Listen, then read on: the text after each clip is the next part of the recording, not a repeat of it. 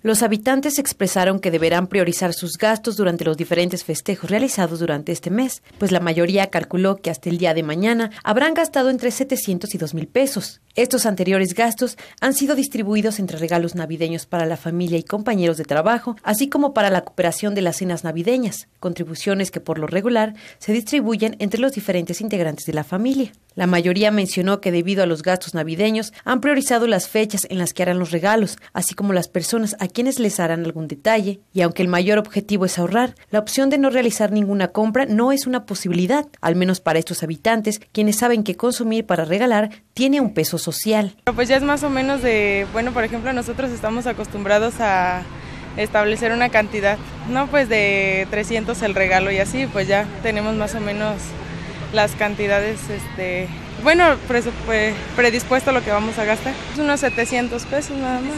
Sí. No, de hecho fue el 24 y ya el 31 ya no. Ya. ya no lo acostumbramos.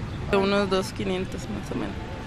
O tres. Es que de ahí depende, porque luego vas y te gusta otra cosa y ya. Pues no fue mucho, pues como nos como nos reunimos este, entre familia, este, es una cooperación, fue de 200 pesos. Sí.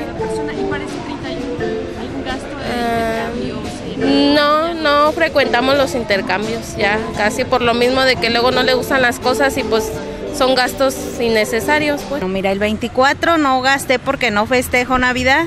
Así como gastos, gastos, no, fíjate que nosotros nos juntamos en familia, que una, una cuestión muy, muy sencilla. Yo creo que lo importante en estas fechas es la convivencia. Con imágenes de Juan Carlos Ontiveros, para Vía Noticias, Marina Plaza.